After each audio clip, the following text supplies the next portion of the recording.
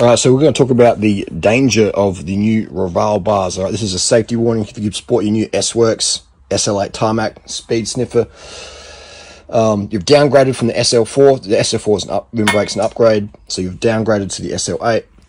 Be careful with these carbon bars. They're very, very light, and if you do crash them, you should replace them. Like if your bike falls over, you probably should replace the carbon bars because when your bars fail, it's no good. So this is this comes with the little uh, this comes stock, right?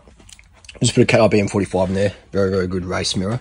Not this is a race bike, but we're trying to make it one. Um, so these things go in here. All right. So when you when these are done up, make sure they're not uh, too tight. Okay.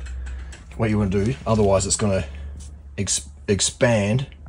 It's going to expand and crack your bars. It's going to go. It's going to cause spiral delamination up through here, and then boom, you'll be hold on the drops, and all of a sudden your bars will just snap, and your dentist will be visiting you it's probably riding the same bike, dentist bike. Um, so what we'll do here is we're going to use, these are really good, really, really good uh, Allen keys, Bondhus, made in USA. All right.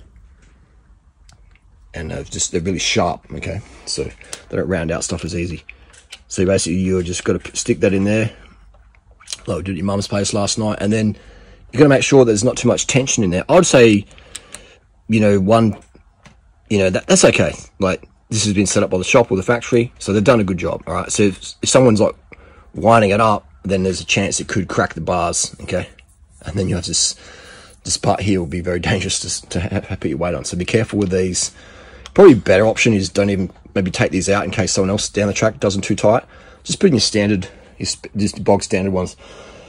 Um, no, Spot's got them as well. Damn, S-Works got them.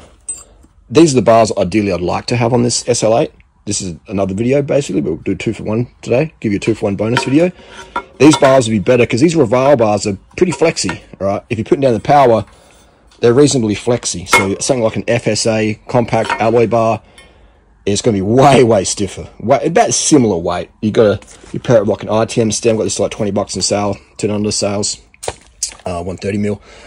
And the problem with these, this is a 110 mil. It's a little bit short for me, but if I want to change the stem, I've got to deal with the brakes, and it's just an absolute faff around. So we'll just, you know, what these bikes aren't really that customizable for bike fit. But if you do want to get a proper bike fit on an SL8, just put some standard bars on there. You know, standard stem, standard bars, and it'll be a lot stiffer. It'll, it'd be around the same weight, but it'll be a lot stiffer, a lot, lot stiffer, and a lot safer if you have a crash and stuff like that. So that's how to upgrade your bar setup uh, on your SL8. There you go. Done deal. Just, uh, yeah, just, just a bit, it's a bit, uh, that was a bit close there. was a bit of a sexual uh, harassment in the workplace, I reckon. You know, just because you're the OnlyFans girl and you pay for this bike doesn't mean you can touch me like that. Yeah, it does. That, that, that wasn't appropriate at all. I'm going to put it in a complaint. Anyway, I, I, feel quite quite uh, vulnerable right now, guys. Okay, I feel very, very, very, very, very, very, very vulnerable. Deep breathing, in and out, relaxing. Oh my god, I'm going to get Brittany Higgins on the dial. Was going to deal with the situation.